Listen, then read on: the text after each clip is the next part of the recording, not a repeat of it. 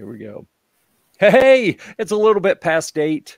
We're a little late. I apologize up front. This is the uh, the crew from from from the Philmont group, and uh, I'm you know what I'm going to mispronounce what it is. Philmont Trek Talk Prep News and Info. That's the name of the group. Um, what we're going to talk about here today is itinerary selection for the 2021 uh, summer uh, Philmont Trek season. Uh, so here, uh, hi, my name's Jeff. I founded the group in Facebook and I run Gear Report, which is hosting this YouTube live stream. We have uh, Sal and Scott. So uh, if you guys wouldn't mind, just give a quick introduction uh, and then we can move into what the purpose of the broadcast is and and start. Sal, you go first. I go first. Okay, my name is Sal Porto, uh, Assistant Scoutmaster 212, Lutz, Florida, all the way down by Tampa.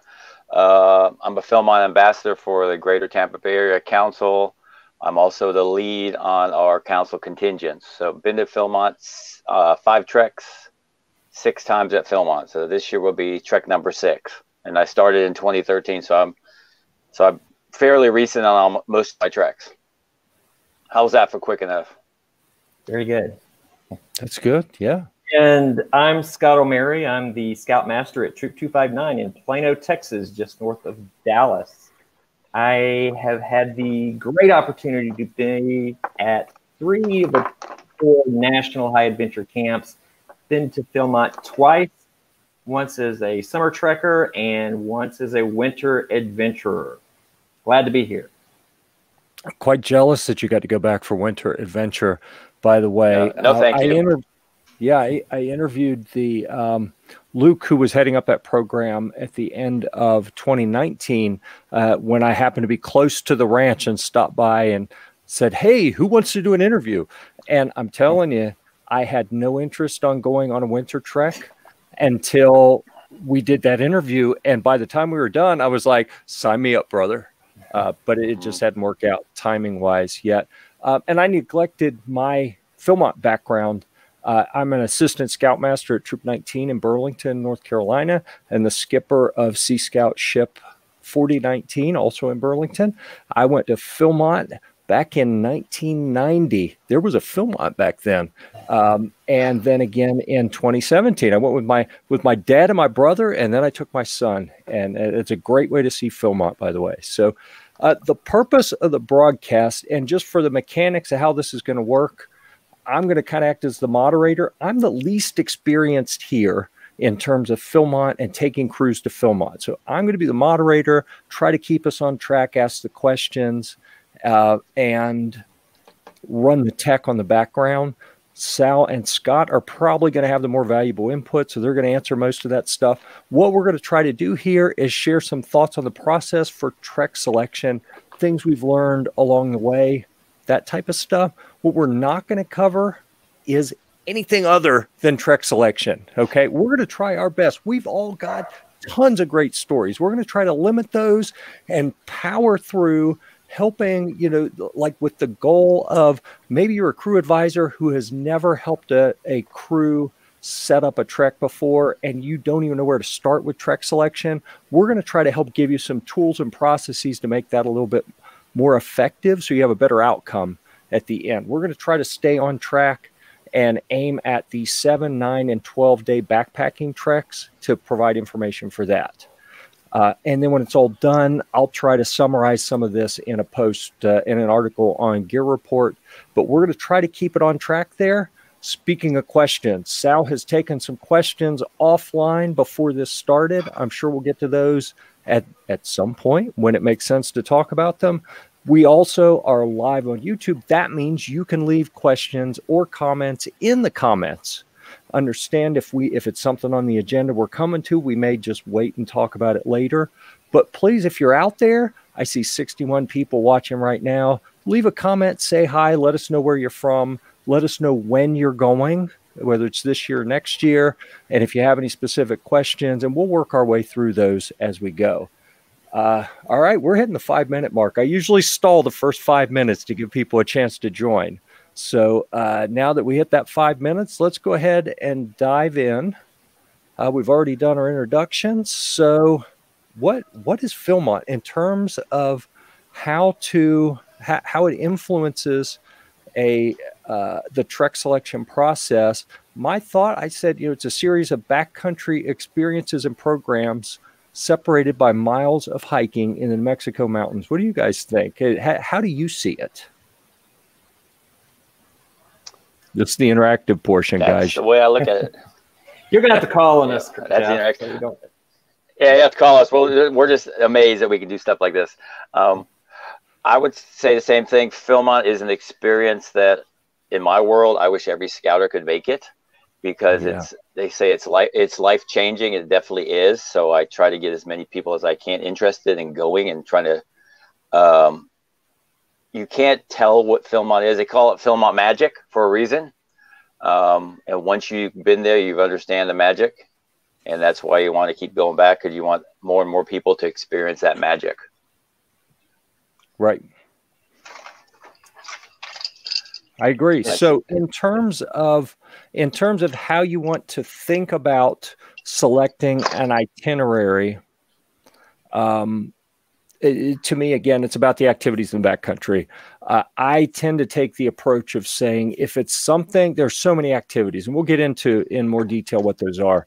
Um, if it's something you can do easily near home, maybe you look for something at Philmont on your itinerary that's harder to to do at home. So, so this is going to be up to each crew to figure out how, how that experience works out. But, but to me, what is Philmont when I was 17 and went was it was mountains that we could put in some hard miles and see how, how far we could hike in a short amount of time. But then when I look back at it, what I remember are all the activities, the program at the backcountry camps, maybe a few views and things, but generally it wasn't the backpacking. So when I'm trying to help a crew figure out what itinerary items to pick, those activities and backcountry program are the things that that I suggest that they focus on more than anything. So let's dive into. I think Sal had an earthquake.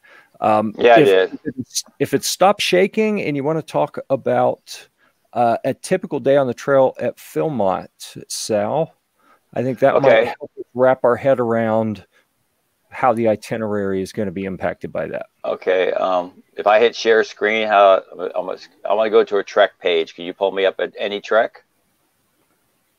I, I will be able to in a minute. Yeah. Okay. Just pull me up. Trek number. Give me. It doesn't matter which number. Yeah. I'll it- just start. talk about something for a minute. I got to go Okay. grab that document real quick and uh, and I'll bring it up in in just a minute. Okay. What I'm going to do, guys, is the, if for the ones who haven't been at Philmont first, your day one on Philmont is at base camp. So basically, you're at base camp all day, um, going through check-ins. Uh, you got medical recheck. You got equipment. You got opening ceremony. Uh, you do your shakedown with your ranger. Uh,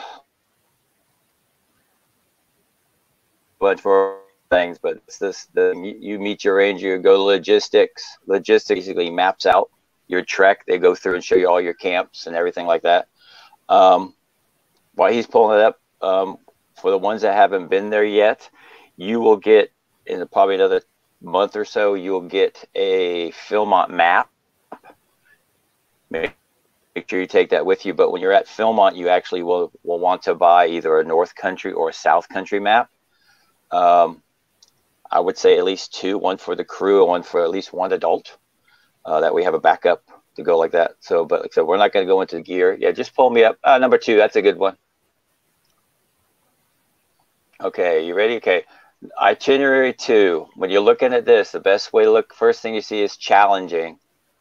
Um, Philmont has, we have challenging, rugged, strenuous, and super strenuous treks.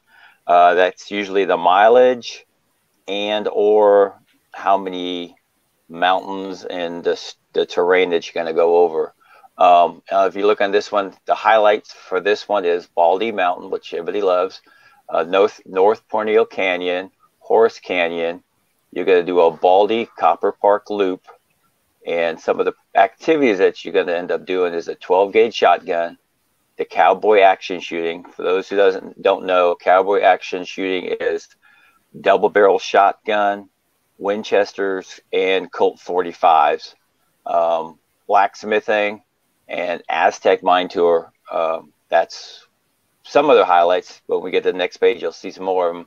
And everybody does a conservation project. It's a four hour conservation project. You need to do another six hours of a conservation project either before or after to earn the 50 miler award. Uh, and you're going to be doing a new trail construction. That's usually what 99% of the conservation project is, is trail work. So get used to trail work. It's either smashing rocks and moving rocks or moving stumps, something like that. Okay, Jeff, go to the next page so I can kind of walk through day one, day two. Okay. Okay, when you see day one, it says camping headquarters. Um, that means you're at, you're at day one. You're always going to be at, you're at base camp. Day two, okay, you're gonna. This is a North Country trek. Um, day two, you're gonna go to Anasazi. Um, so when you leave camp, that's where you're headed to, and it's going to be ranger training. Everybody gets a ranger for the first two and a half days. Um, and what that means is that say, bags, dining flies, the Bermuda Triangle, how to cook film method, um, maps and compass, all that stuff you need. Um, my recommendation is Filma has an excellent YouTube channels and a lot of uh, stuff on their website shows you how to do all that stuff. Practice before you get there. That way, when you ranger gives you that stuff, you're not looking like a deer in the headlight. At least you know some of it. Um, so let's start with day two. You go to Anasazi, you do ranger training. You're going to go to the T-Rex track, track, excuse me, and it's a trail camp. Now, the difference between a trail camp, when you look at Anasazi, it's capital A with little alphabets for A, and below it is Metcalf. That's all in capital. Um, Metcalf is a staff camp. That's in all capital letters. Staff camp means they have staff there. Um, they usually have better water. It's usually uh, water that's already purified. You don't have to worry about that. Um, if you look down a little further at Ponil, you can't really see it. There's an S above Ponil. That means they have showers. So usually you have at least one shower camp on your trail trek, sometimes two if you're lucky. Um, so let, excuse me. So let's go start. The way I do my crew is again, it's a it's a boy led trek. We try to get up at five thirty. Uh, the sun is up at five thirty. So you would get up at 5:30. You would try to leave by 6:30. Philmont would love for you everybody to leave in an hour, uh, but that is just a suggestion. Some crews are faster, some crews are slower. Just take that in consideration. Um, if you're a adult that has a slow crew, my suggestion was bring a book uh, or drink some coffee, pack your backpack, and just sit back and watch and let them learn. Because after a while, they'll figure out um, they um, want to go faster. Um, yeah, well, if you look down, somebody has a comment says day six and day seven is Ute Meadows. Yes, you have two days back to back at Ute Meadows because if you look at day seven, you climb Baldy. So you're going up Baldy on one side, coming back down, um, and you'll be going through French Henry and coming back to Ute Meadows. So that's your down day. So when you climb Baldy, most of the time Baldy is a day hike, so you do not need full packs. Um, so what you want to do when you do a Baldy day hike, um,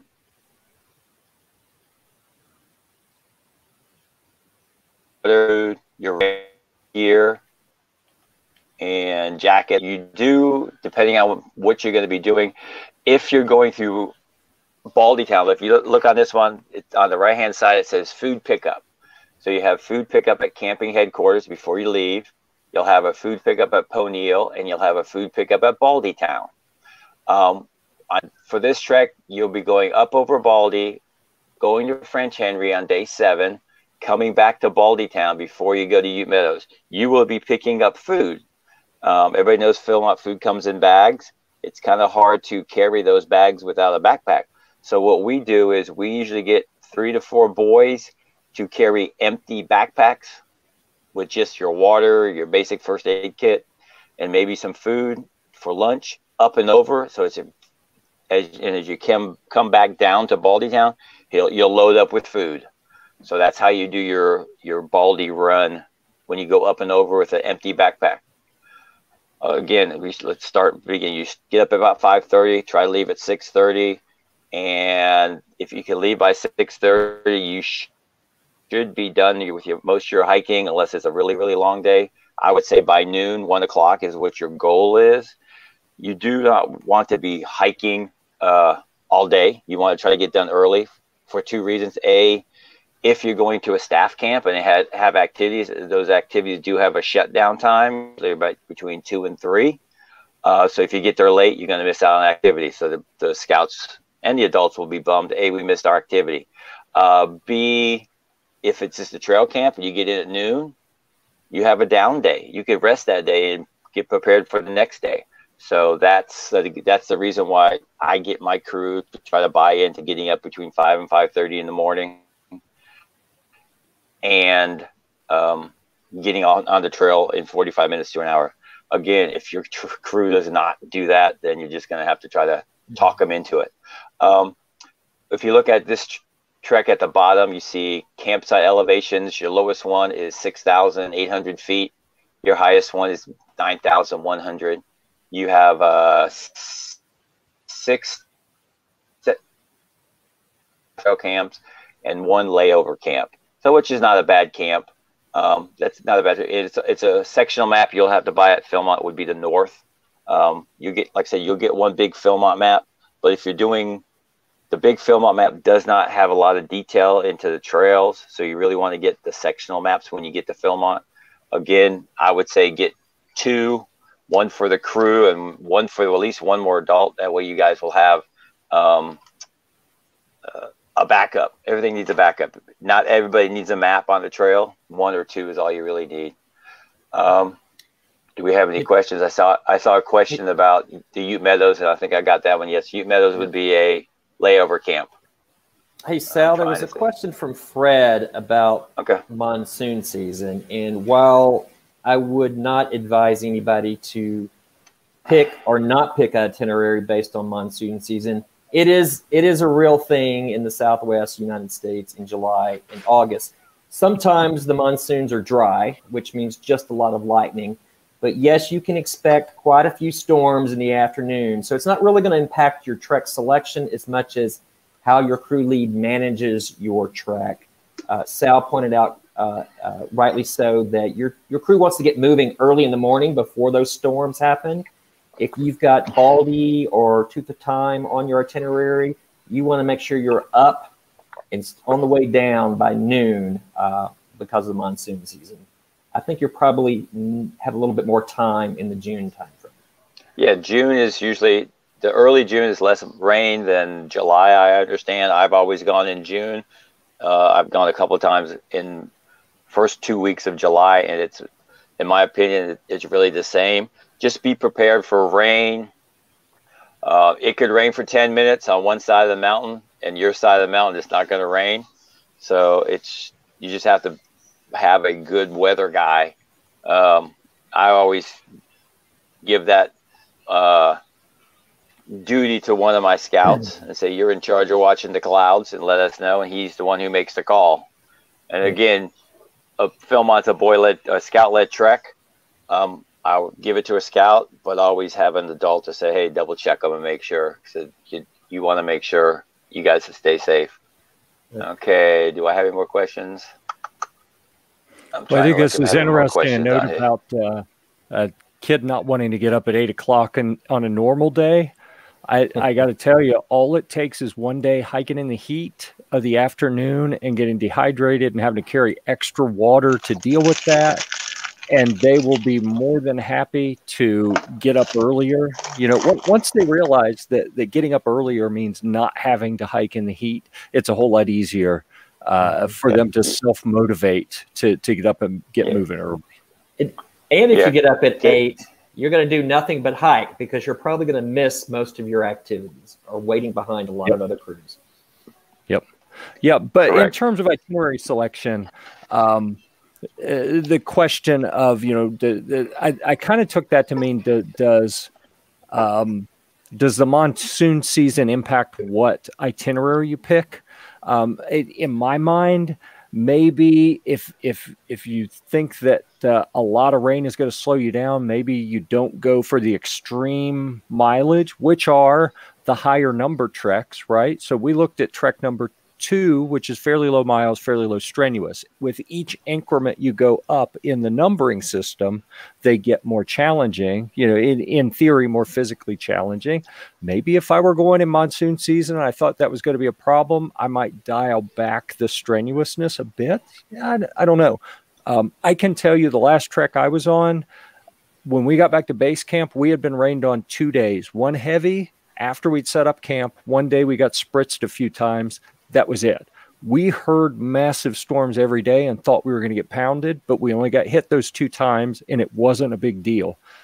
We talked to other crews that came off the trails the same as us. They got soaked every single day. Same ranch, different parts of the ranch, very different experience. If we had tried to pick our trek based on what the weather was going to be, who knows? So I personally, I would say, don't even worry about it. Uh, I, I would think that early June versus late July is a bigger difference because uh, if, if you don't like the cold, maybe you don't want to be on a trek that has a lot of real high altitude stuff if you're going in early June where there's still snow on the ground and it's still cooler. But that's about the only way I would really consider weather.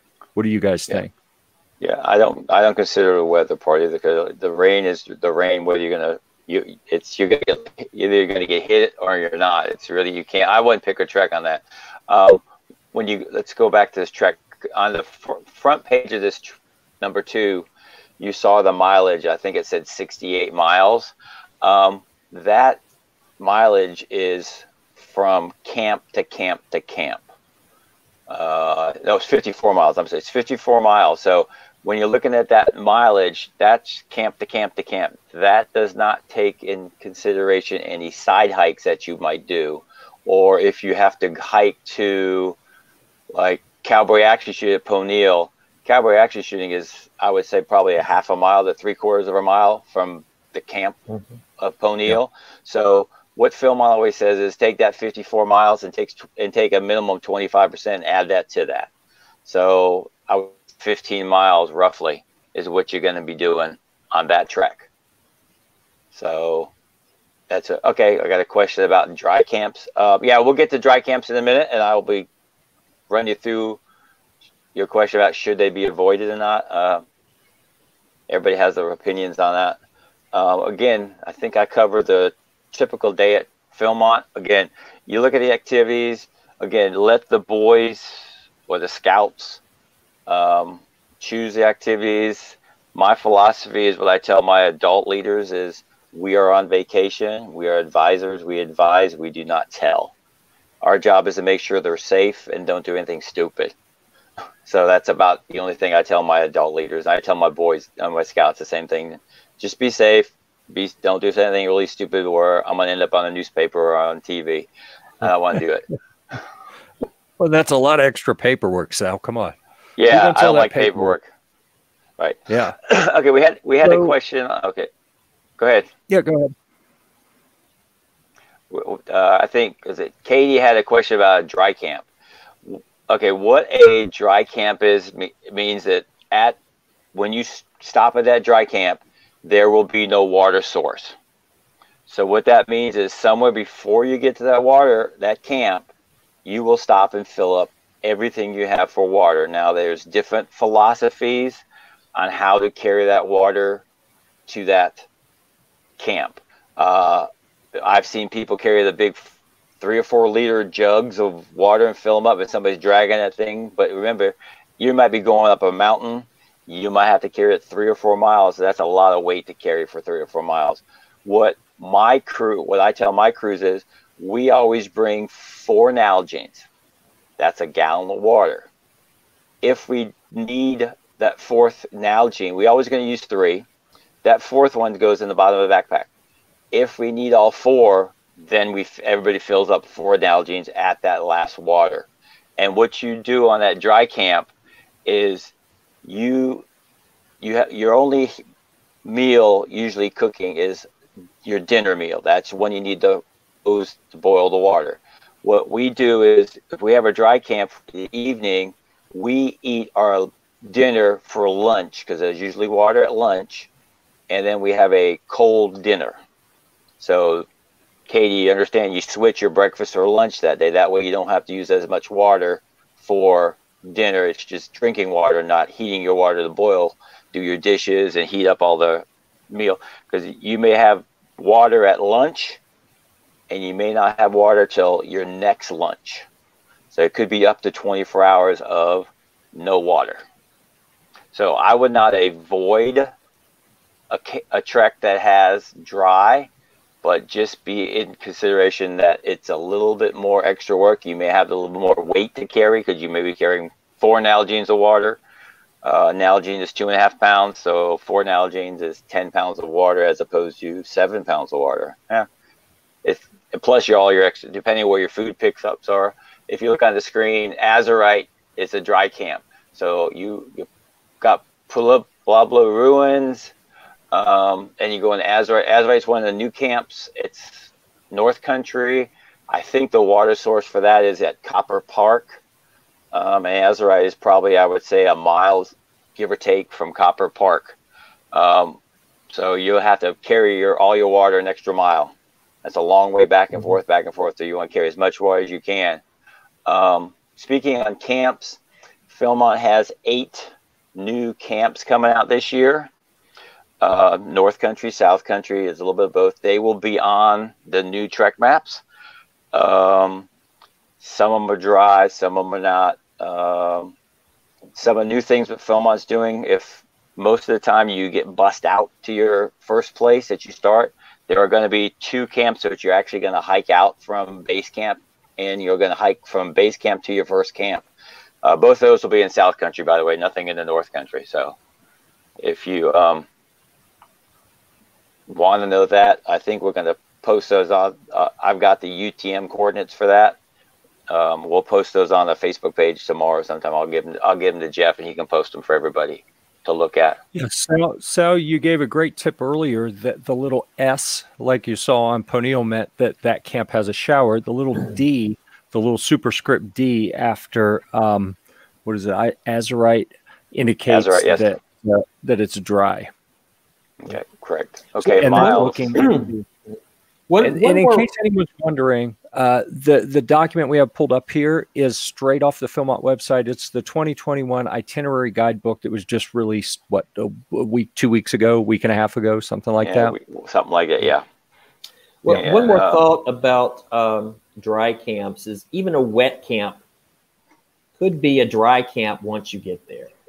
Sure. Um, so on day one, your crew lead will go into the planning office, and there on a big board there'll be water reports from all the camps. It's very important that you check that out, or your crew lead checks that out to make sure that a wet camp suddenly didn't become dry because the stream dried up that day or something like that. So be prepared.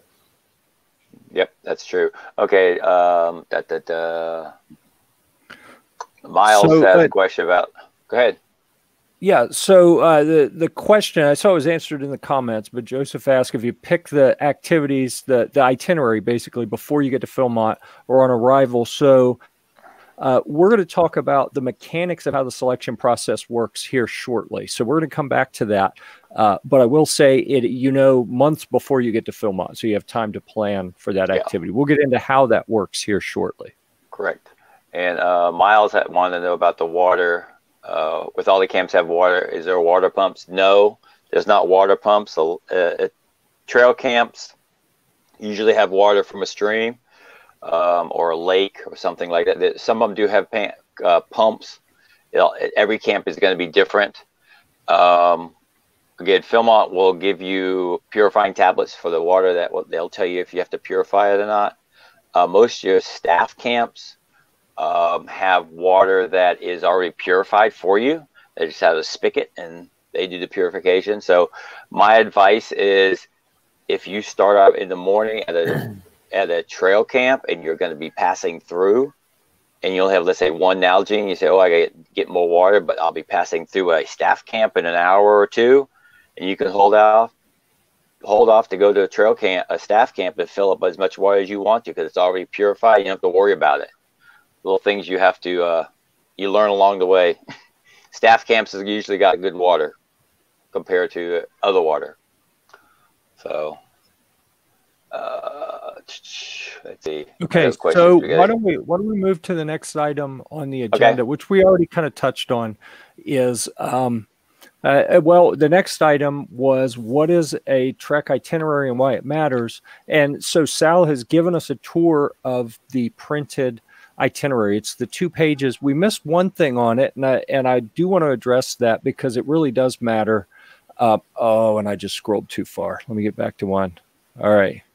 Bear with me, folks. My mouse died right as we were starting, and I'm having to do this on the laptop. So here we go. Uh, so this is our page one of the itinerary. So in this case, it's uh, 12.1. So it's the uh, least strenuous, least challenging, you know, however, however you want to look at that.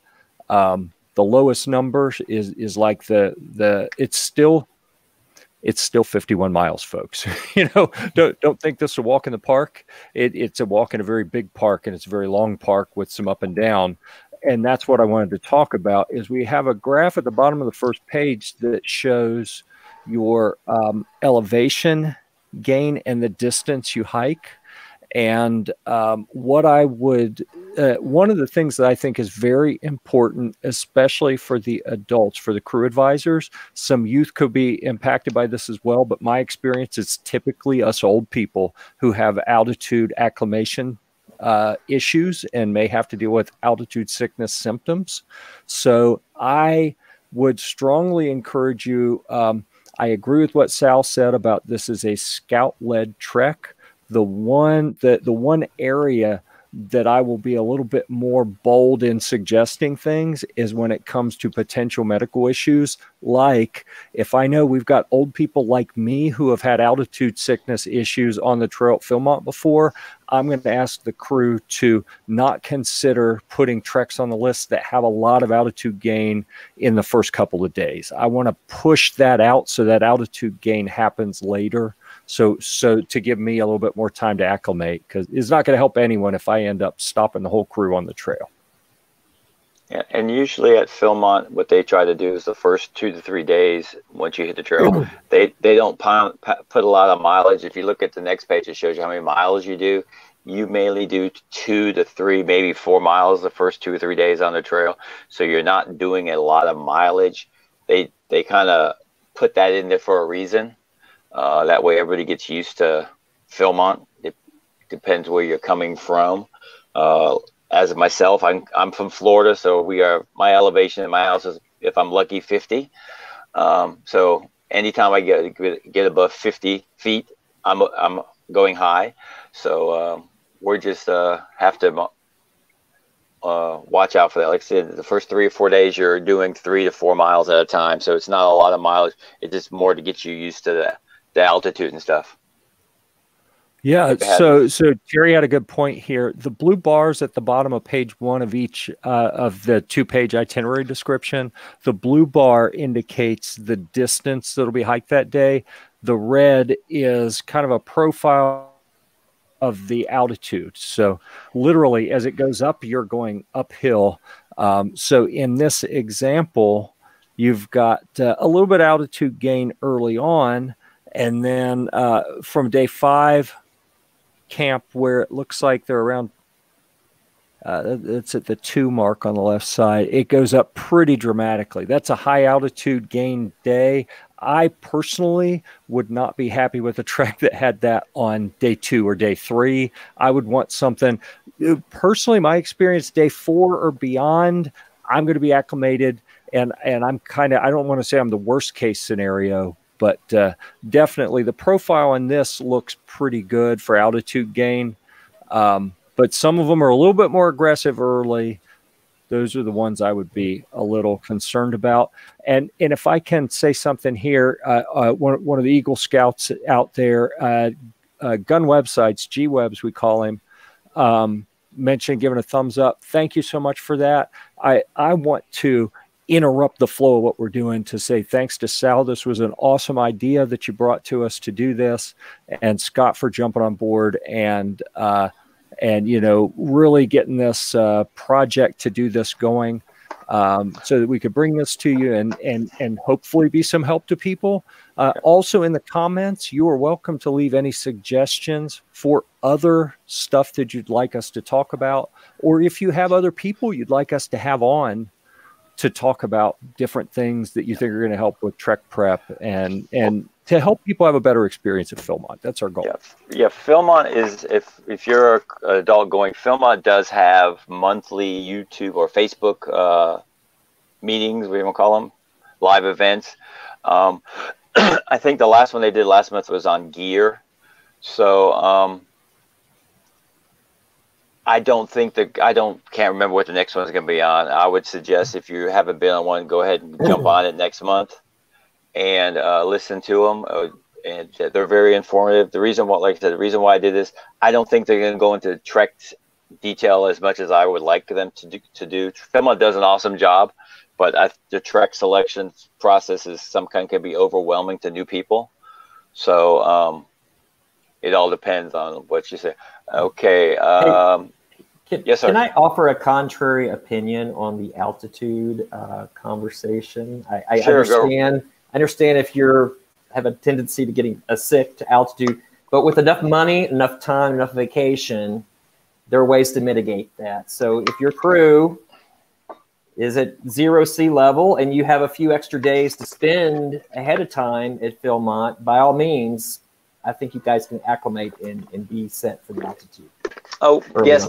Yes, I understand. But unfortunately, when you're coming from Florida, uh, probably anywhere from the East Coast, our biggest expense is airplane, air, air train. The only way to get there is by air. There's no other way to do it.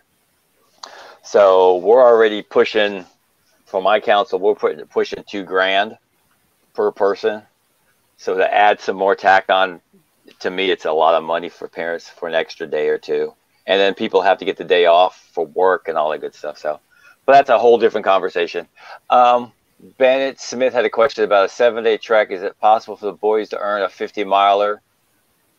Um, it all depends on the trek. I don't remember off the top of my head if the seven dayers have 50 milers or not. You'd have to well, look. Um, well, Sal, do you have you have it right there in front of you? Can you go to the seven? One? Yeah, I'm looking at I'm looking at one right now. Seven one. That's 43. Yeah, I would say they would be really close. Um, because I'm looking at seven thirteen. It says 44 miles. So probably. I would say yes. I say most your, your seven dayers would qualify for a 50 mile because with your extra walking that you're going to do around base camp and your side hikes, you'll probably get over 50 miles. So I would say yes on that. And Ryan, is it possible to hike to Tooth the day before or after your trek?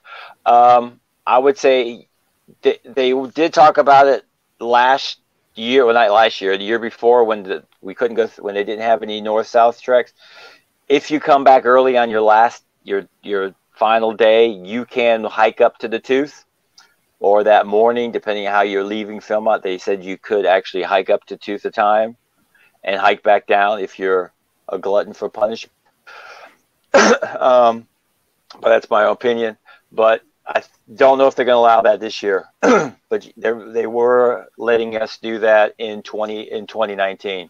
You could hike up to Tooth after your dealer hike, hike up it. I it's about a I would say 14 mile round trip, give or take, all the way up to the Tooth and back. So yeah, it's a long day. Yeah, and, it's a long and, day. Uh, getting up Tooth Ridge isn't. Uh, it isn't the hardest hike on the ranch, but it's certainly not a, a an easy one either. No, it's not. And then also coming the, the, the trail going up from base camp and the same trail you're coming down. Um, it has a name, and that's a, so. Um, somebody had a question. I saw a question. Uh, Miles said a, a, good thing to pack would be a LifeStraw for places where you don't have access to purified water.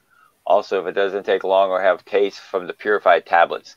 Um, LifeStraws are fine for a single use, for a single person, in my opinion. But if you have to fill up Nalgene's, that's a lot. You're not going to be able to use a LifeStraw. Yeah. Uh, yeah. The the tablets to me, the Philmont tablets are the way to go. Yeah, that sometimes they don't taste the best, but you can always use one that Gatorade in it or what they give you. So mask that chlorine taste with Gatorade. That's my opinion on the LifeStraws. I, I'm not a big fan of them because it's, it's good for one person drinking water. And then that if nobody else has one, then we're just standing there for one person drink water. Uh, William said there is a, there is a okay. Josh says in, in in your opinions are some activities better than others? Some should be avoided. That would be up to the scouts. Um, to me, I have never had a bad experience at any activity. Um, I always compliment what I've always learned at Philmont is always be nice to the staff when you get, when you're there. Always the staff will bend over backwards to help you if they can. Um, so be nice to them, and they'll they'll help you out as best they can. Um, all the activities are great. You'll hear, hear, people say, um, "Don't take a burro trek." Uh, what a burro trek is, for two or three days, you get a burro. Um, I uh, had burros, three different treks. I love burros.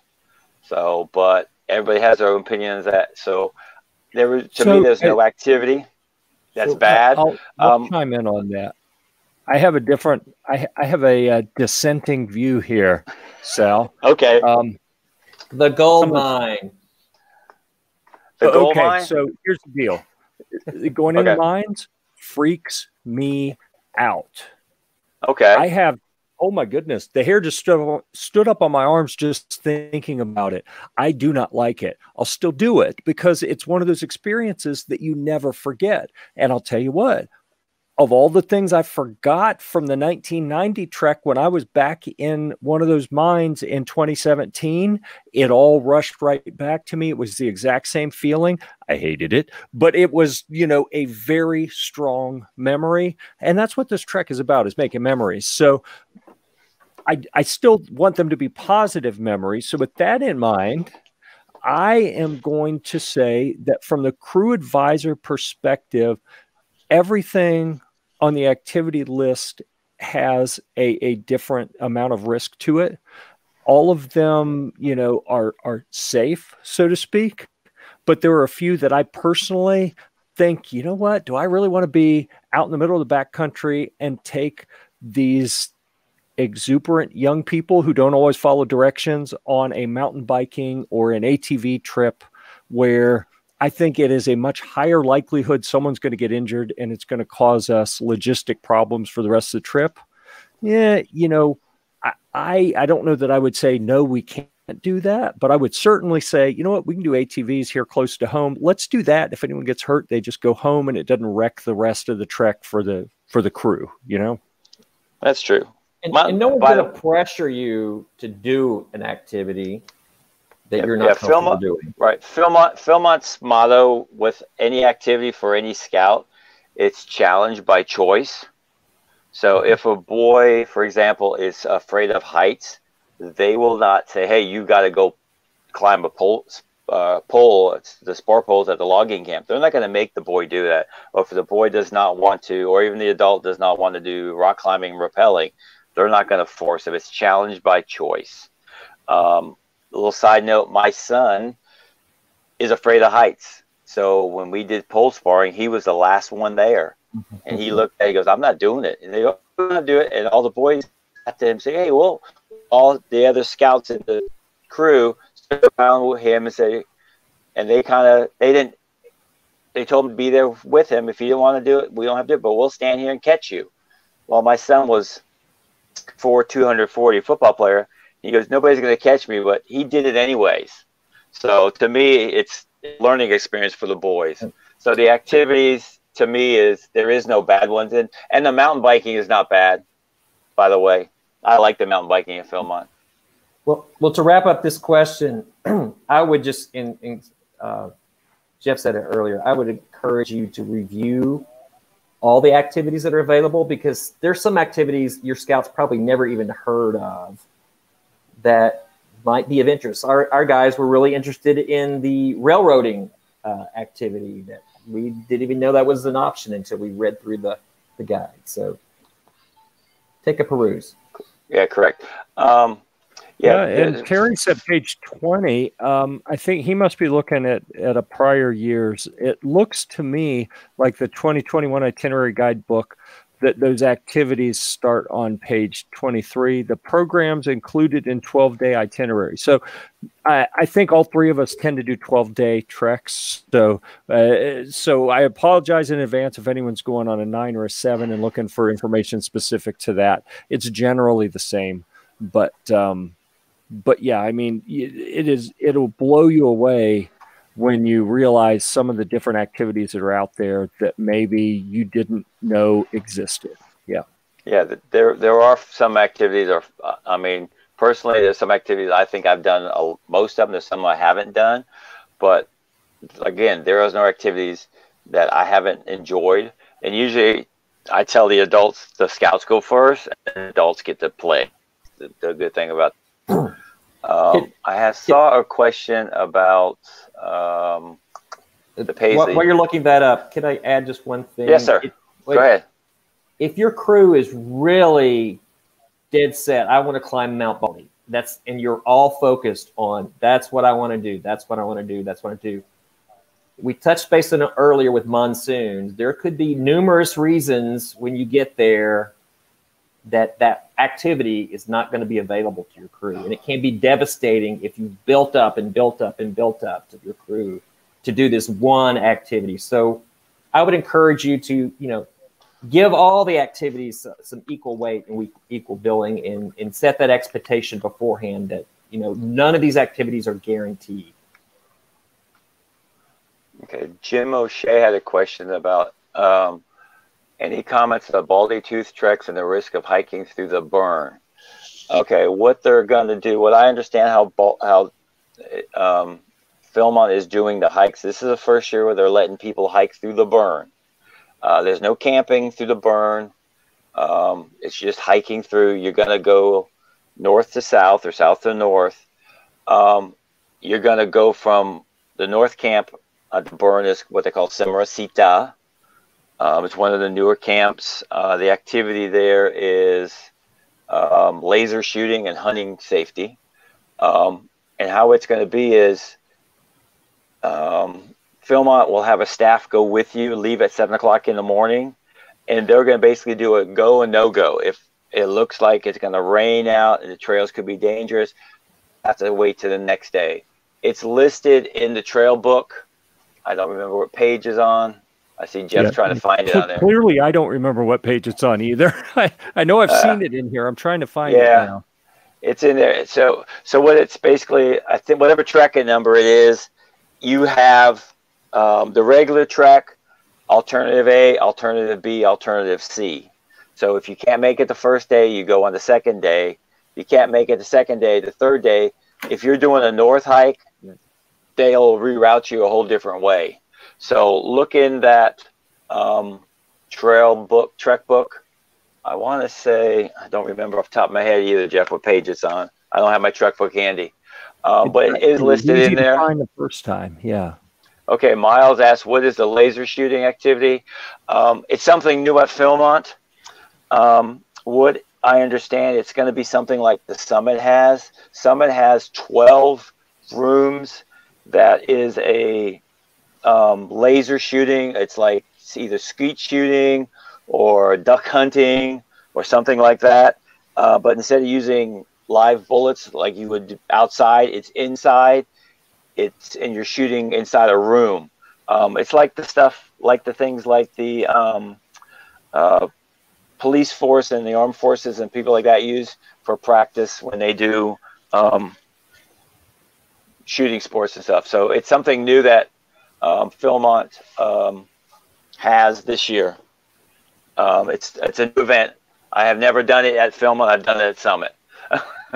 so there you go. Uh, page eleven, I think. Jeff.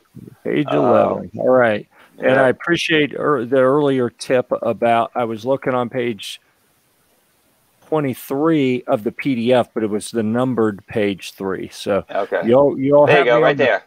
You have me there it the is right there page now. Good. Uh, go down a little bit more. Uh, that's a nine day trek. Keep on going down. That's a nine day trek. Let's go to a 12 day trek. Okay, there you go. 12 day trek. Okay, if you look at this one, if you're doing a north south trek, uh, plan A is regular. Uh, plan B, if you notice, you have Cimarroncito on day seven, Cimarroncita on day eight, and then you're into Sawmill like you're supposed to. Um, that means you stay at yours. If you look at the original 1217, you only really do one day at Cimarroncito, not two. Um, pretty sure. Let me double check. Hold on. Uh, was that 17? Let me look real quick on a second, guys. Jeff, you but, stay where you're at. Oh, okay. But um, I, I, don't take direction very well, Sal. Bear with me. Um, uh, so, okay. but there are only two on the 12 day itineraries. There are only two that do one, one north to south, one south to north. My understanding is each day they will allow, nope, that's three, four crews, two of which will be on shorter uh, treks, two will be on a 12 day trek. All right. So it so if you consider most are doing 12 day treks, only two crews per day get to do that transit. That that's how I understood it. So correct. This, this is what I've always done, where you start start in the south and go up to the north. I absolutely love it. It's kind of freaking me out that it's very unlikely that our crew will have that opportunity this year because only two crews per day are going to get to do it. So just it's be prepared be, for that. It's it's going to be very popular. Okay, on trek number 17, originally um, you go from Cimarroncito to Whistle Punk to Red Hills. If you notice on here, plan B, you have two days of Cimarroncito. That means day one you couldn't go, so you're stuck at Cimarroncito again. Then you go to Sawmill. So you, if you do this trek and you get a layover day, one day in Cimarroncito, you're you're you're going to be going to different locations on day 9 10 and 11 than you originally thought you were so mm-hmm. take that in consideration when your scouts look at possibly want to pick trek number 17 as their first choice if something happens because let's say it's raining out and they think the trails are going to be bad going through the burn they're going to make you sit at Cimarroncito another day and whatever you're if you were supposed to do well, well, but uh, look at look at 17. 17 starts in the north and then it transits to south. Correct. But then if you don't get that, look at plan C and D. Those end in Ponil. That's north. You never make right. it to the South Country. You, you so never make it. To, if you get diverted, you don't get to make that transit.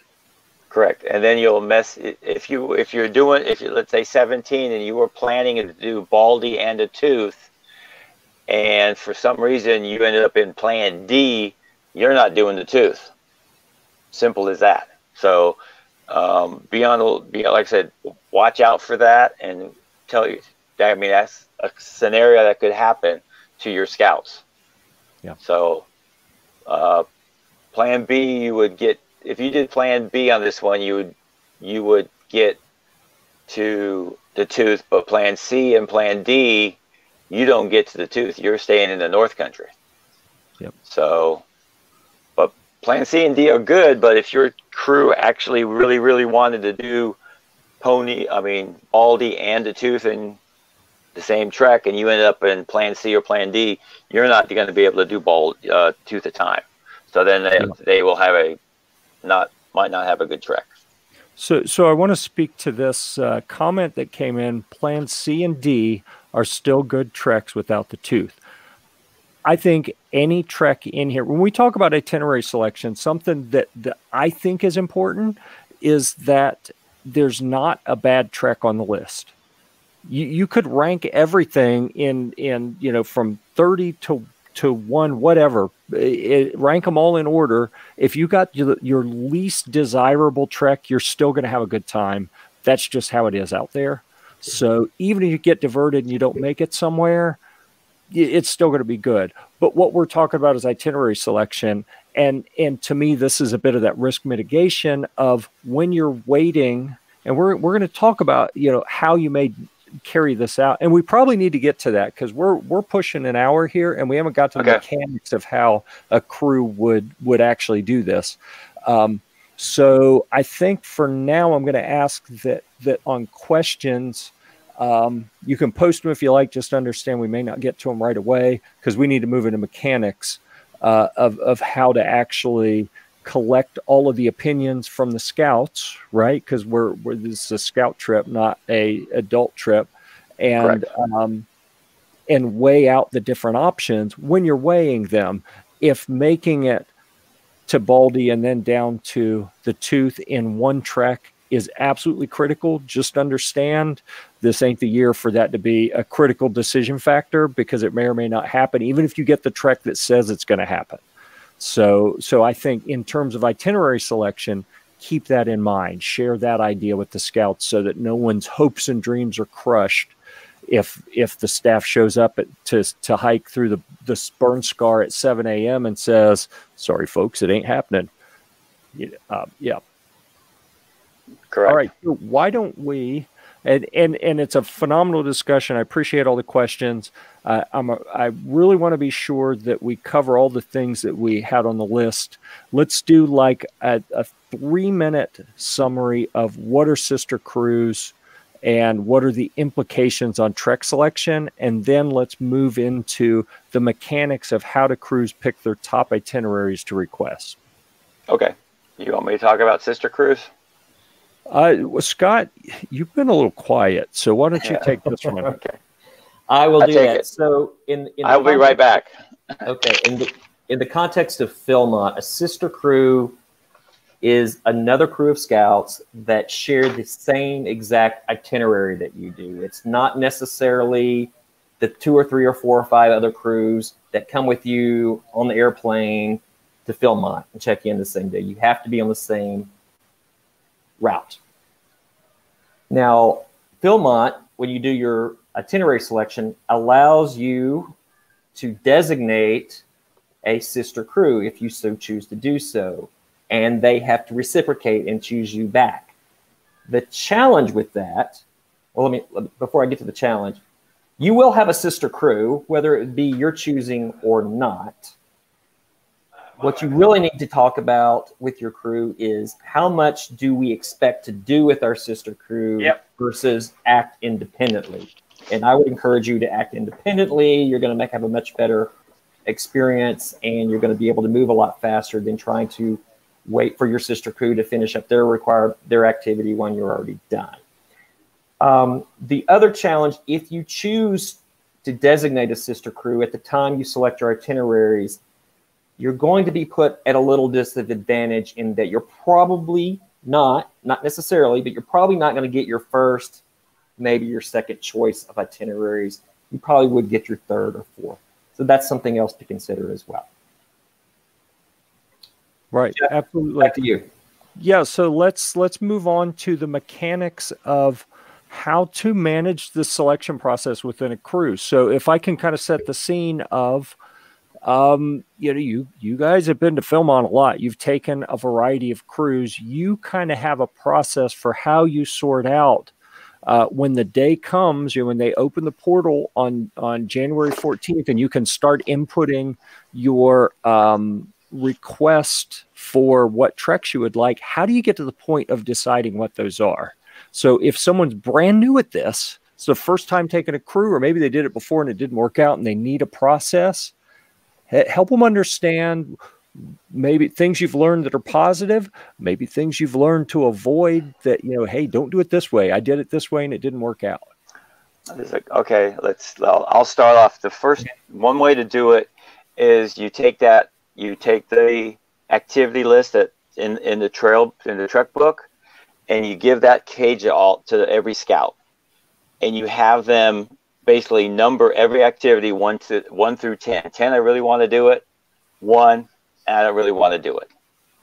Um, the first year I did it, I collected all those and I basically went through and highlighted anything. Let's say it was um, rock climbing rappelling. We had seven boys that wanted to do rock climbing rappelling. I highlighted that with another color, with a color, and I kind of looked at it that way. Okay, I have all these activities that most of the boys want to do. So, then I looked at the treks and said, okay, what trek has all these kind of activities? You're not going to be able to do every activity that everybody. Does. So you're going to have to take talk to those scouts and say, hey, one only one person wants to do astronomy nobody else wants to do it so unfortunately we're not going to be able to do it but you're going to get something else that you wanted to do. You're not going to be able to do everything that you want to do again it depends on if you're doing south treks or north treks. Uh, north trek you want to do an atv and everybody wants to atvs you're going to have to do a south trek. Um, stuff like that you have to take into consideration. There are now some websites. Jeff, are we gonna you gonna share that one Sid's later on? Uh, yeah, we can do that. And, okay. and I'm actually looking. Philmont has released some sort of uh, uh, tool yeah. as well, and I can actually you, haven't had a chance to look at that yet. I'm trying to find it so I can I've share that as well. Can I can You've I share my screen? Can I share my screen? Sure. Let me see if I can do it. It says share screen. Mm-hmm. Uh, share screen. Let me see if I can find it. Yeah, you you pick there you pick go. the uh, the tab or window that you want, and it'll pop okay. up for me, and I will okay, approve that, it. That that window right there. Can you see what I got there? That's the that's the Philmont nope. Gateway no, camping gateway. You have to pick it in the in the broadcast tool. Okay. You have to go to share screen and then pick the tab that you want to share. Okay. Try it now. Okay. That looks like all right, it looks like you're sharing our the. There. You, have got it right, but it's not the correct window. Okay, now I think maybe you got the right window. There okay. it is. Good. Okay. Excellent. For for all the Philmont lead advisors, this is your Philmont gateway. You should already have access to it. Um, can I scroll down? Okay, I can scroll down. If you look at it, I'm going to go through it real quickly if everybody knows it. Um, you'll see all the adults, all the information about them. Scroll down further, you see all the scouts. Uh, you'll see name and all that's address. This is where you put in your crew leader and your different stuff like that. That's where you say who's got wilderness first aid, who's got CPR. You can actually upload your medicals to all this stuff, but we're not going to go into that. We're going to go up a little further. And uh, all the way at top, you see an internet. You have Itinerary Explorer. If you click on that blue ah, button, okay. you click on that blue button, and it you go into you could look in it. You you see difficulty. Do I want a challenge, rugged, strenuous? Okay, I'm gonna say I'm strenuous. Ask you definitely want strenuous. Do not want. So I definitely want a strenuous hike. Boom. Um, and it says challenging. I don't want challenging. Puts it over there rugged, I'll take a rugged, and I don't want to do a super strenuous. Okay, then the next one down, it tells you what peaks you want. I'm just going to do a quick one. I definitely want Baldy. You scroll down activity, then it gives you activities. This is where you've got a ton of stuff to look. If you look at it, that's every activity they give you. So I'm just, since I know the North Country, I'm going to pick stuff that I know it's in the North Country. Um, are in the North Country, so I definitely want to do those. Um, I like burros. I definitely want burros. Um, let's see. I definitely like cowboy action shooting, so I want to do that. So as you scroll down, you can say yes, I want it, or no, I want it, and it will put on each side of that um, list there. And as you go down, and then you go camps, then it, you can say what camps do you want to go to. So if you have a certain camp you want to go to, um, let's see, I'm going to say I want to go to, uh, where is, I'm going to choose my favorite since I'm choosing. I want to go, I definitely want to go to Metcalf. and I definitely I definitely want to go to Dan Beard, and I definitely want to go to how about Iris Park? Okay, keep on. Those are all your camps, and then you got miscellaneous stuff you can look to too. Hike out of base camp or hike into base camp. I uh, personally I don't want to hike out, and I, there's no way I can hike back in because I know I'm picking the North Country if you look, possible itineraries 12 and 15, that's the only two that list those activities I listed. So if I want it, but you can put anything you want on, I want to do it, and it's going to narrow it down. It will do it. It will tell you what treks have those camps. Of, and if you click on, let's say 24, let's say I'm going to click on 12 24, it brings up slowly, but it will bring up Trek, Trek 24 for you to look at. There's, and there it is. There's Trek 24. So the Philmont, um, oops, there it is. Oh, there it is. Way to go. Lost it. Uh, I think, oh, there it is. So Trek, Trek 24, when you pull it up, it has the activities I wanted, and then it also has the camps I wanted to go to. So this is a really cool tool that Philmont did this year to help everybody to do it, to, to, to pick um, their treks. All you have to do is find out from the scouts what activities they want to do, label them one to five, one to ten, one to five, and so you just have to do a little sortation. Sure. Um, I, I would do it if do it this year that way because it works really good. I'm going to use it. Um, I kind of we got we got canceled last year, and I'm keeping my same crew. So in my world, they're keeping the same trek they wanted last year. so hopefully that was quick. Okay, so let's get rid so, of that window. So can uh, I add a little that? color to uh, Sal's? Yep. For everybody. So uh, our crews followed similar process to Sal's, uh, just a, a couple of things, and I'm sure Sal may have done this too. We had multiple crews attending. So before we got into the selection process, we made sure that the members were set in each crew, and each crew had their own crew lead already uh, established.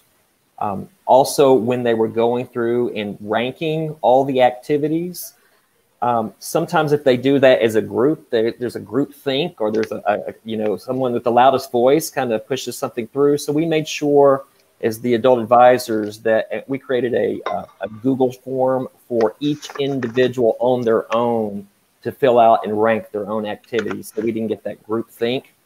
And then we could uh, ascertain which were the, the main itineraries that kind of fit that bill. But otherwise, we followed this generally the same path as Sal's do. Yeah. Now, um, uh, that, that there was a question. Ryan says that itinerary explorer only available for the lead advisor. Yes, the lead advisor is the only one to do that. Um, he could share the the logins with everybody if he wanted to. Um, I don't know why he can't. Um, but the lead advisor is the only person that has access. He He's the one who puts in all the roster information. Also, is oh, and he froze. like that. Some of that. Okay, so since personal. it looks like Sal, Sal's having a little connectivity issue, I'm going to talk speak to Chris's question real quick here. Uh, does it make a difference if you get your list in on the 14th or February 1st, whatever the day is that the window closes? Anytime between January 14th and the window closing is the same. The only thing that matters is when they flip the switch for that computer program to run through and assign treks, that your information is in there. There is no advantage or disadvantage to getting it in early unless you consider like you know what if we wait and then have a tech issue and can't get it in in time that's probably the only disadvantage i, I would think to to waiting well, if you if you don't get in there till February first and you find out you don't have some information you need, you might be scrambling. So you might want to get there a little, at least take poke around a little bit. Yeah, yep. I would I would say try to get in as for, as fast as you can because let's you can you hear me now? By the way, yes. Okay, if you put it in early, let's say you put it in next the first day it opens, and then you talk to your crew, and for some reason your crew decided, hey, we don't like that one. You can always go back and change it. You have up to that final day to hit submit. You can always go back and change it. So you could change your number as long as it's not the day of the selection. And how the selection works, 9 a.m. I think it's Mountain Time. It closes, and usually within the hour, the lead advisor will get an email and say, "Congratulations, you have been awarded this trek." So it's a pretty quick process on getting your trek selection number. Okay, good. So um, that, thanks for the great questions and uh, for the peek behind the curtain. As someone who's never been a lead advisor, I'd never seen the that gateway before. So thank you, Sal, for for giving yeah. us uh, a little peek there. Yeah. Another yeah. tool. So so we saw Philmont has rolled out an itinerary selection tool to help you along the process. You see, there's also uh, an individual who has created one, and uh, we actually uh, talked to him. Said, "Hey, we got this discussion coming up. Are you going to?"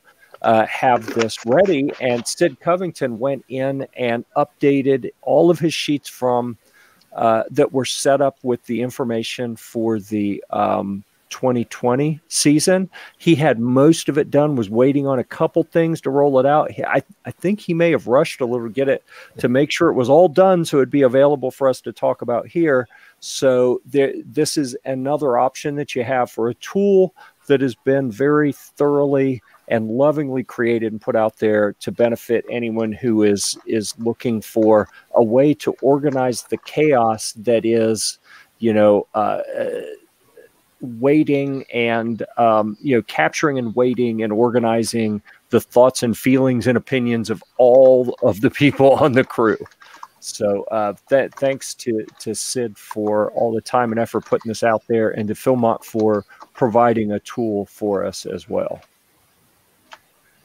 Okay, so let me move off of that window for now. I actually um, haven't had a chance to go through that tool yet either. So um, it, it it works really good. I've used it in the past. The only caveat I could see about that one, calls for a full crew, unless he's changed it. If you only have a crew of seven boys, it's you have to put in blank names for the rest of the to get to the maximum number of boys.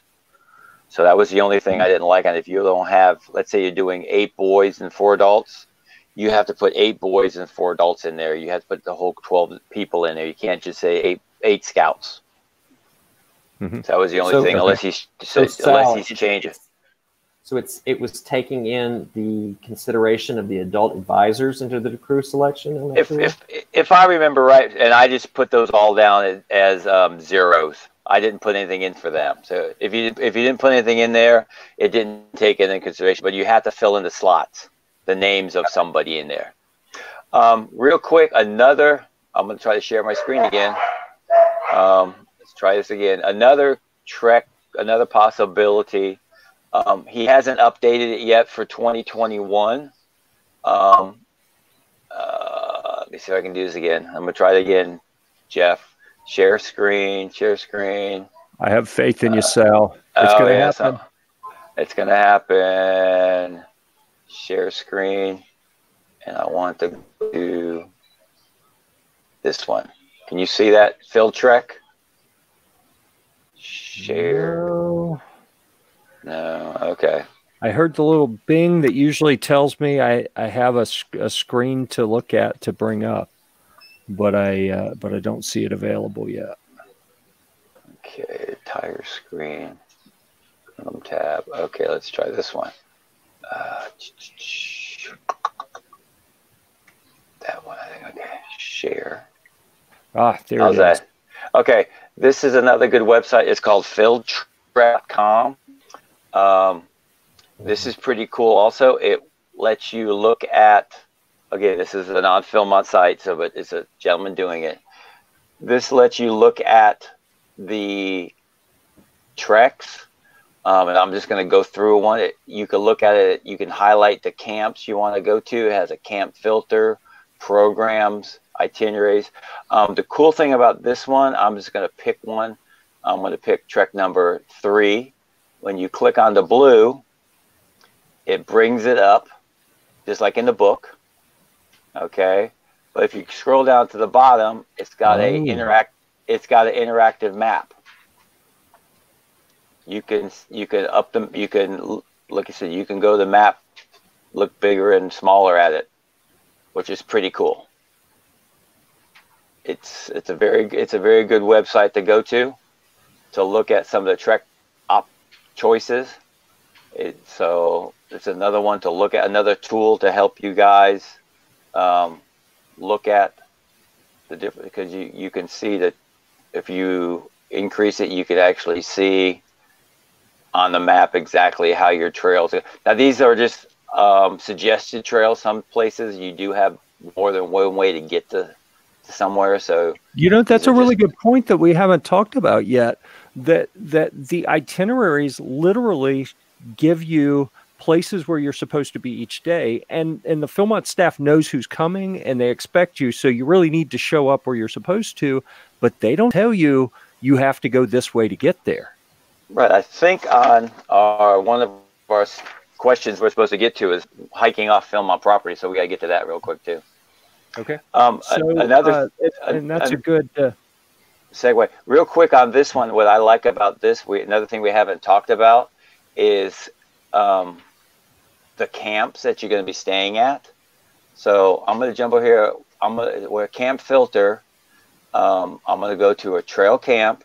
All the trail camps, there they all are, which is pretty cool. So I'm going to pick a trail camp. I'm going to pick uh, Copper Park. You look at Copper Park, it shows a picture going into Copper Park, which is pretty cool.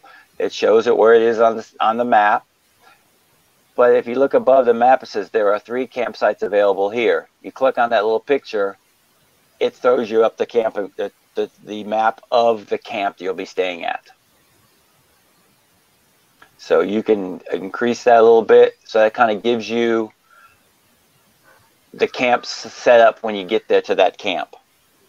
So you can see where the water source is for this camp, which is this little stream here. You can see all the campsites. You can see where the Everybody knows where the red roof is, and everybody knows where the bear bag wood should be. So it gives you everything there. So this is a cool little thing to look at the camps. So when you're going, you can see where the water sources are if it's not a dry camp.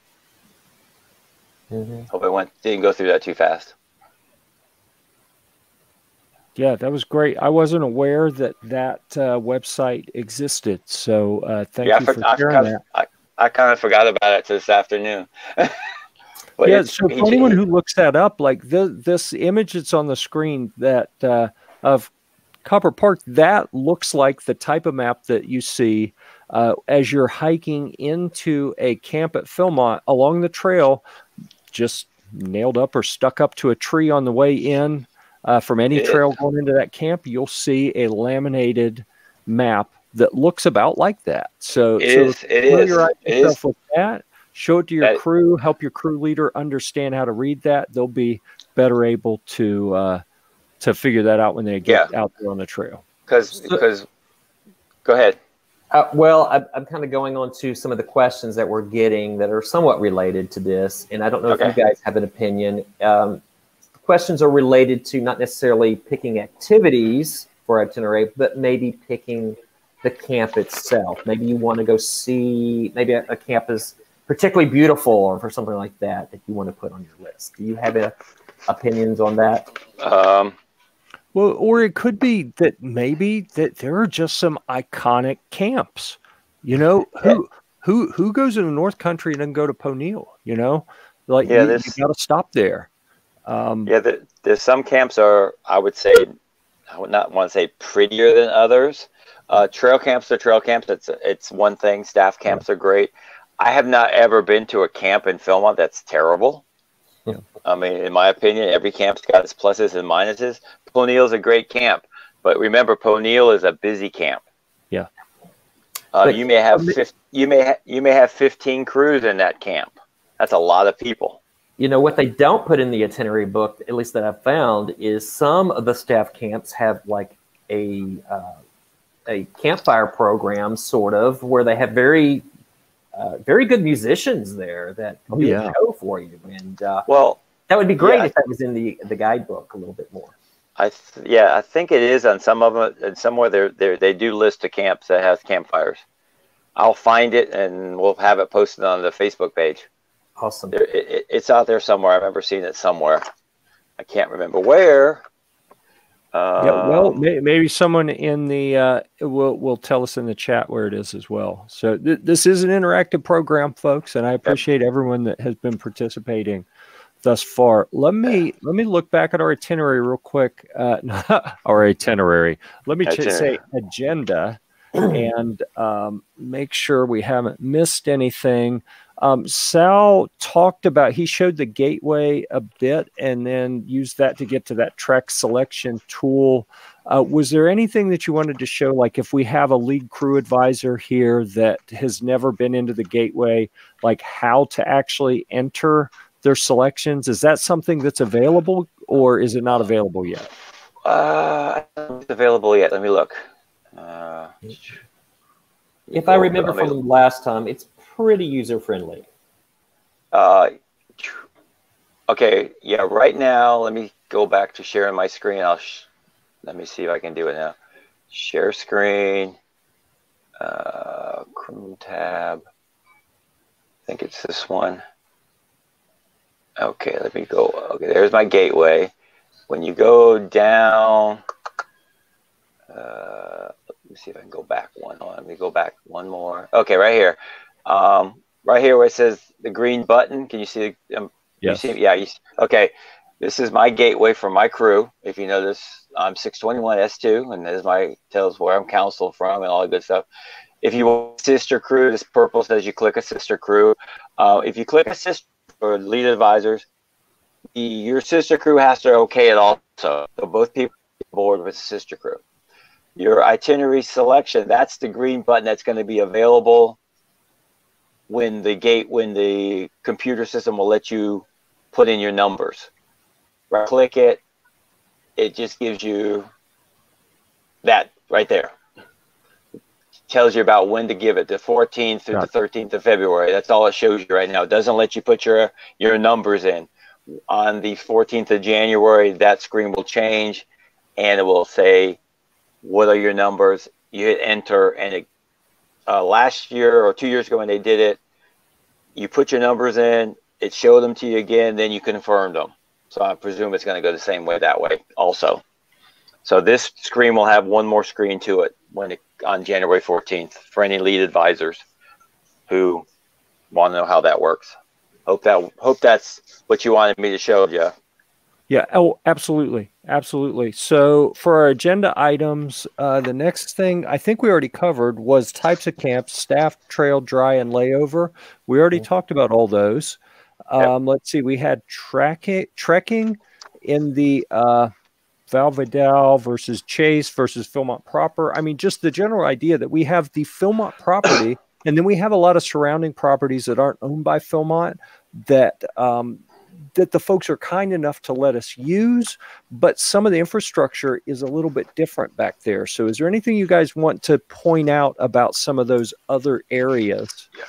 Yeah, okay. Uh, uh, go for it, Scott. Okay, well, yes. So, uh, one thing we didn't talk about at Philmont proper is all your campsites are established. You've got a ring and a bear uh, bear line and a sump at all your campsites, and you have established trails. You have a Red Roof Inn uh, you are in the backcountry, but uh, you got a little uh, guardrails, I call them. But when you go out into, say, the Valle Vidal, there are no established trails. There are no established camp sites.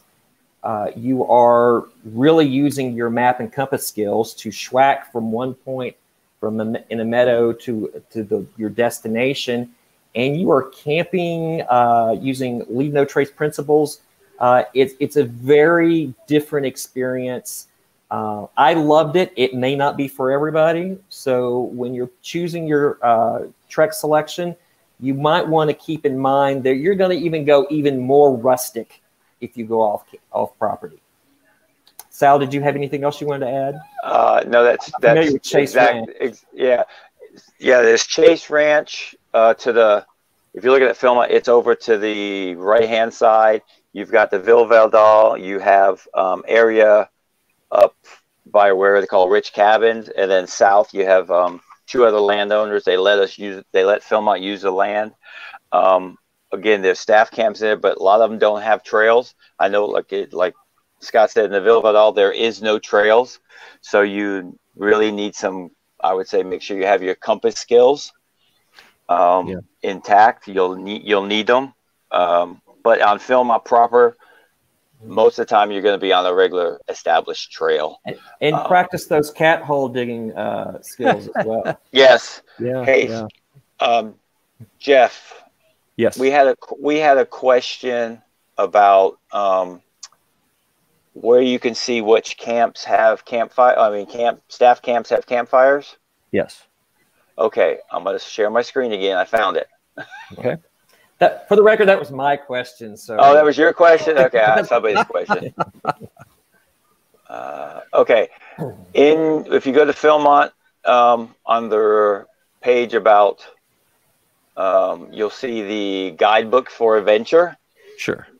Every you can see this online now. Everybody's every lead advisor will get one of these for everybody mailed to them, probably in the month of March. Make sure everybody has it. Make sure everybody reads it inside this book, um, I can't remember what page it is now. There is, um, I'm looking at last year's and trying to see if it's on the same page. They do list the camps. Uh, let's see. Uh, da, da, da. Let's try. Let's look at page 55 real quick. I'm gonna go real fast at page 55.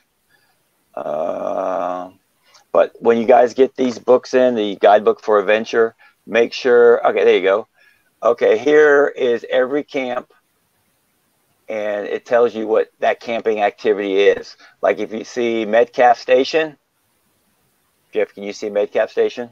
Yes. Okay, Metcalf it's, Station. It's small, but yeah. Yeah, okay. Metcalf Station, it says railroading, blacksmithing, handcar, telegraph, campfire. That means that's that's Metcalf does have a campfire program. Um, Next they have one down. a train station at Metcalf now too. I understand. Yes, they do. Nice yellow train station. Um, but when, when you see, you can look at the guidebook for adventure now online, but you will get a copy of it in the mail in the next month or two. So it, it's out there. Just have to find it. Okay, I'm stop sharing. okay. Okay. All so right. So let me go back to the itinerary or the agenda. I keep wanting to call it itinerary. I have itinerary on the brain here. Uh, let's see. We talked about understanding mileage in the Trek book, um, which I think we've already covered that. Uh, activities versus mileage. So, and and this is something that I mentioned early with uh, you know, as a youth. I I went. I was 17 I was in great shape. I wanted to to impress everyone in the world with how many miles we did. That's all I cared about. Uh, looking back at it, I don't remember the miles. I remember the activities. So um, again, I think that that's just a great way to kind of set the stage with the scouts when they're looking for what they want to do. Most people are probably going to be happier and remember. Um, no. things. Uh, yeah, that, that's what you're saying no to, I think, right? right? um, most, most people are going to remember those activities more than miles. So I would certainly encourage them to uh, pick a mileage that looks like there's nothing that that's going to make them miserable and then base everything on activities. So if if to get the activities they want, there are going to be some days that they think there are people on the crew that aren't going to be able to hack. There is no use having an activity that everyone is dying to do and then you miss it because someone can't hike fast enough. You've set that person up to be miserable and to make the crew miserable. Don't do it. You know, um, try to try to stick within the capabilities of your crew. I think that's where, as crew advisors, we have some sway to to take the opinions of what activities the scouts want to do and weigh it against the reality of you know who's going and what can they handle and and try to balance it. Remember that uh, activities are available to those who show up on time. If your crew's slow, they won't be able to take advantage of all the act- activities. That's a true story. That's a true. That's true. And, and a caveat to that one is sometimes you do pass through camps that have program or activities that you're not scheduled to do. And if you're hiking fast and early enough in the day and they have an open slot, Yep. uh, sometimes they can fit you in and you can do an extra program. Sal's right. Early, not fast. That's what you want to do. Yep. Yeah, you Yep. want to be early. It's not it's not the speed. It's it's early. Um, Yep. If you get there, I mean, it's happened to me at least once that we got there. We were passing through a staff camp. The activity, the, the program was not on our itinerary, but we asked them. They go, "We have an extra. We can fit you Yep. guys in if you're going to hang out for 30 minutes." So we hung out for the extra 30 minutes and got to do something extra. So um, just remember that. Uh, Terry says the showers the showers do close early, so it's something you want to look into. Showers usually close. Showers, at? Yeah, my wife makes me take one. That's Um, another. That's another topic uh, that we can talk about in another chat if anyone wants to hear that. Not just showers, uh, but I will say, if that's important to you, the ability to bathe every now and then, don't just look. If you remember in the uh, itinerary guide, there was a um, what was it? A little S beside the Yes. camp name that indicated it had a shower you don't have to be staying there to use that shower. I remember uh, on our Miranda up over Baldy down through French Henry, we resupplied at Baldy Town, and uh, we actually got there right as the showers were closing and persuaded them. They close at a certain time. What they told us is that they closed the showers at a certain time for human scent mitigation. The soaps and things might attract wildlife later. I don't know if I really believe it, but we convinced them that, well, okay, fine. We just won't use soap. We'll be good. And they didn't want to say no, I guess. And uh, okay, I guess if you don't use soap, so so it worked out. But but understand, you don't have to be staying there to be able to to use the shower. Correct. I don't think a scout is going to put that down as one of their uh, top priorities is shower, but who knows?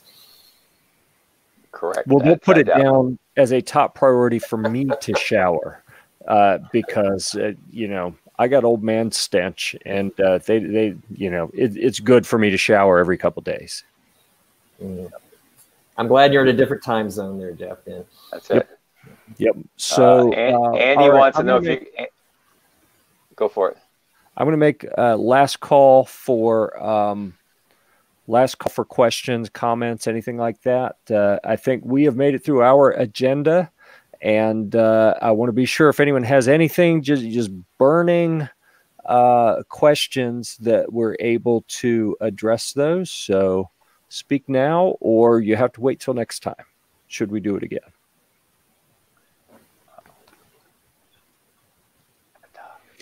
Baldy Town closed for maintenance. You know, Baldy Town's where we had a little bit of a shower denial thing going on. I'm starting to suspect there may be a management issue there. The mayor seemed a little shady to me, to be honest with you.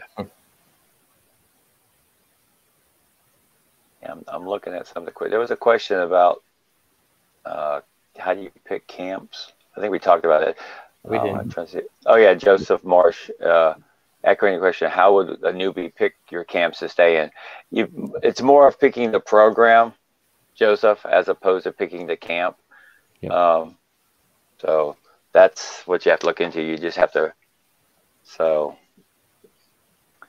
uh, Jim O'Shea has a tenting. Has fathers wanting to tent with their sons against youth protection. Correct. If I remember right, that is true. You can't you can't youths can't sleep with adults anymore, even though they're sons. If I remember right on youth protection, but that's not what we're talking about today. But I'd have to, I would have I would say if I remember right, that would be a no. You, you, you are correct. And all over the Welcome Center when we were there in 2019, there were signs to that effect, uh, reinforcing that. Orion Kane says, "Are there any iconic camps? You mentioned Ponil. I mean, You know, I, I mentioned Ponil. I don't actually love Ponil. Like It's just one of the iconic camps. Yeah. You know, that everyone Well- goes through. If you're going to be in the North Country, you're going to go through Ponil. Uh, correct. Miranda. Yeah, maybe Miranda. Yeah. Miranda Metcalf is one of my favorites. I like Dan Beard. Um, North Country, South Country, Urraca Mesa is always cool. Um, It's fun to say too. yeah, it's fun to say. Carson Meadows, Fish Camp is always good. Uh, Apache Springs is awesome. Um, Miners Park is great. I could go on. Somebody, one of my scouts, one time went through and checked off all the camps I've been to. It was at seventy five percent. So. Yeah. so, so to me, to answer that question of iconic camps, to me, it comes down to two things: is there an insane view that you're not going to find anywhere else? Is the aesthetic really cool, like Miranda, or does it have program that you just have to go to? Right. Again, Miranda's pretty good for that too. So yeah. yeah. Or do they Jeremy, have a cool patch for the camp? That's yeah. Jeremy wanted to know is there a best sunrise or sunset or moonrise for camps? Um, Urraca Mesa in the South Country has a sunrise. That's awesome. Um, if you do South Country again, Tooth Ridge is awesome for the sun sunrise. Phillips is great for watching the sunset. Um, so, oh, you know one that, that you don't hear about that uh, our ranger wandered off I, I think he was going to pee. And when he came back, he's like, Whoa, guys, stop what you're doing. Come with me. And we went and uh, we were at, uh, what was it, Toothache Springs? Does that sound right? I think so. Yeah. And it was our first night. So we still had him. And, uh, there it was uh we were on we were like on the top of a mesa. So when we walked out to the edge of camp it was one of those don't sleepwalk or you will fall off. But we went and sat up on the edge of this overlooking the valley that we had just hiked in from. It was amazing. So there are some things like that that if you explore a little bit if you just get to your campsite and sit you know we we would have completely missed that and it was amazing. So don't be afraid to look yeah. around. Yeah Hey, El, hey El, to add to add to that, Elkhorn has got an awesome vista. When you when you hike to it and you go you go pa- past this pile of rocks, oh, it's a pile of rocks. But when you go back there to watch the sunset, it's sun the sun sets right over Baldy from there. And if the storms are coming in, you can see the storms rolling off of Baldy, and they'll never hit you because the time they hit you, you're they stop. But that's an awesome spot to to uh, view the sunset is from the uh, Elkhorn Creek. So hopefully, uh, Jeremy, that answered your questions. yeah, I'm going to share something here. Um, and, and, this is the self promotion portion of the program here.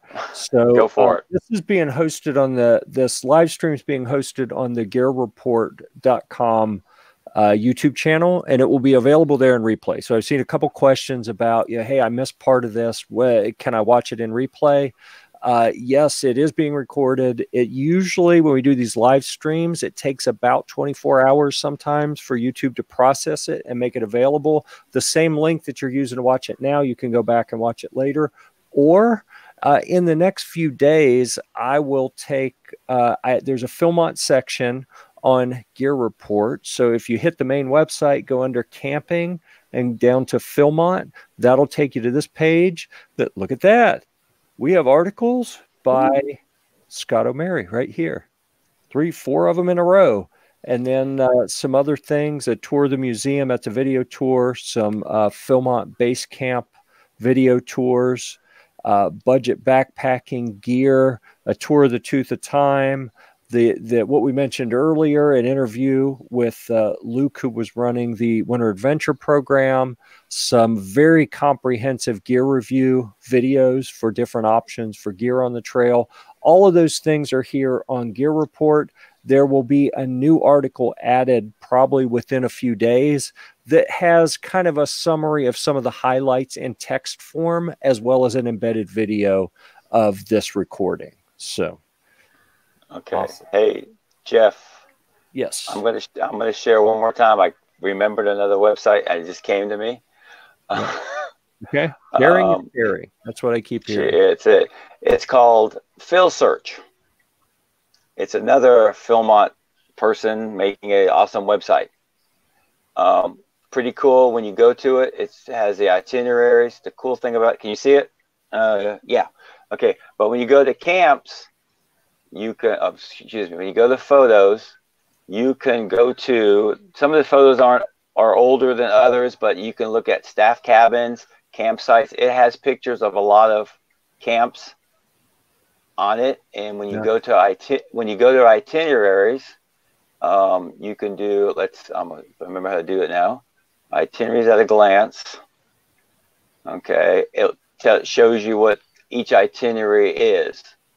And there was a way to do a virtual tour. There it is. I think that's it. Okay, let's see if this works today. Uh, let's do 17. And it shows you kind of what you're going to do every day. There's base camp, day one, just some pictures of base camp and in, it, you can see every day there's camp. Somebody's gave up pictures for every day on this camp. So day four, 17, you're going to be at Baldy Town. There's a picture of Baldy Town. So this is a really good website to look at pictures, to look at what the camps could look like. Some of these pictures are old, so you have to take that into consideration also. But that's a cool, that's another cool website. It's called uh, philsearch.org.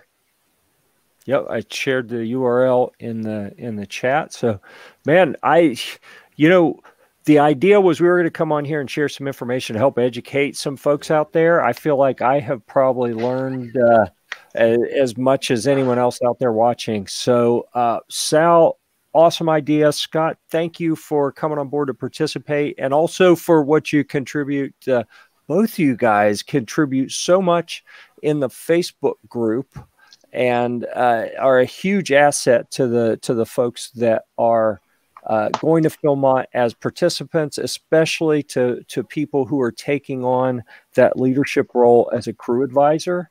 Because um, I got to tell you, it's a lot of work, and uh, you know everyone who is willing to take that on, uh, thank you. It, it makes a no, difference. No these treks couldn't go. These treks couldn't happen without adults stepping up to uh, kind of stand in the background and just watch and make sure everything is safe and try That's to keep true. up and get um, yourself in shape yes. get yourself yeah start i had i had a scout last week he's going with it he goes when should i start working out? I said you should have been already working out. It's june it's december oh he asked me in december. I said you should have been working out three months ago. But um but again, thanks for for doing this. Um, it was great for you to host it the IT wise because that's way beyond my scope. Um, but just to everybody out there, if you have any questions, post them on the Facebook group. Trust me, you'll get a bunch of answers.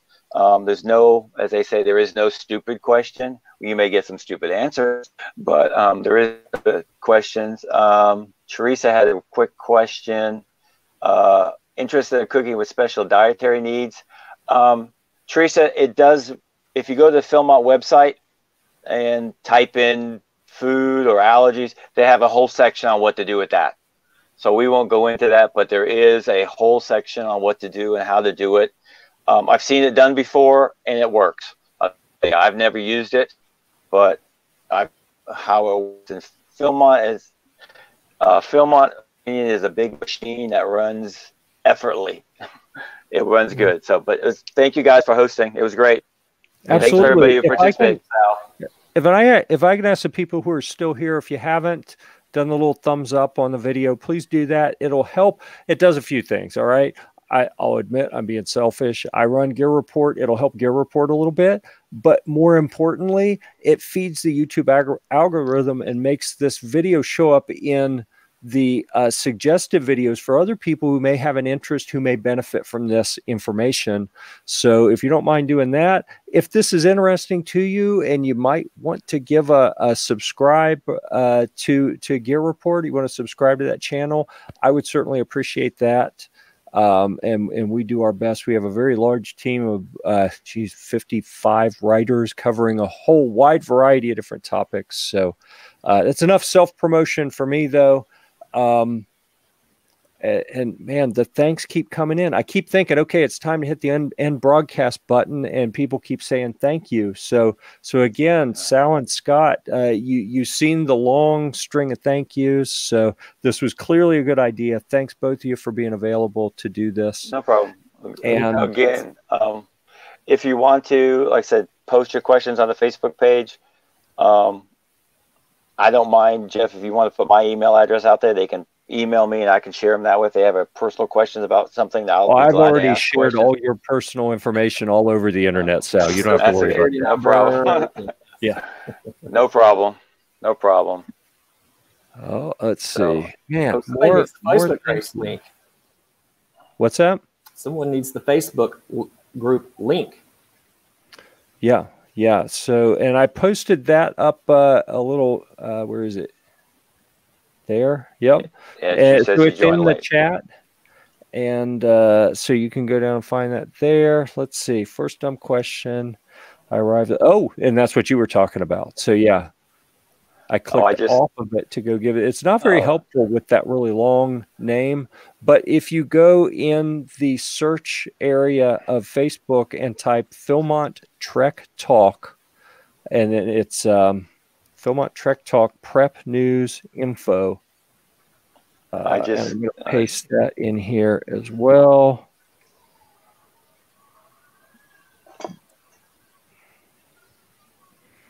Oh no wrong thing. All right, I'm just going to hit enter here. I think I got an extra word on there, but uh, yeah, Philmont Trek Talk News info, and that pub at the end was a fragment that I tried to delete and I messed up. So sorry about that.